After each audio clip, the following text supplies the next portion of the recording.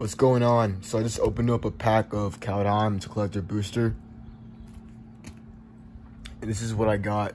Bulls got uh, Dogged Pursuit. At the beginning of Pack Instant, costs one twenty lose, sixty one life, nine. you gain The total life. value of all these cards is twenty When seventy nine. Sarulf's Packmate enters the battlefield, draw one card. Ice Tunnel. Iron Verdict. Stalwart Valkyrie. Rune of Sustenance. Spirit of the Aldergard. Snow-covered Forest. Ethereal Valkyrie. Cosmos Charger.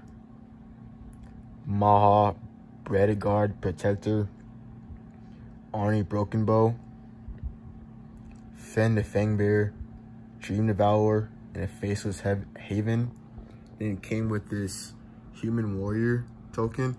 Total value of this pack is about $20 and 79 cents or 69 cents on Amazon right now. And total value of all these cards is about $20 and 79 cents. All the pulls will be in the description or the names of these cards.